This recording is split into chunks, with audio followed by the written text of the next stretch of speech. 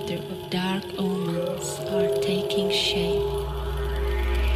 A thumping sound resonates through soil to reach our feet from miles away.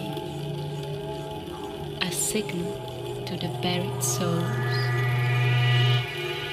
The sun sets crimson red, then charcoal black. better not dare to breathe our faintest breath.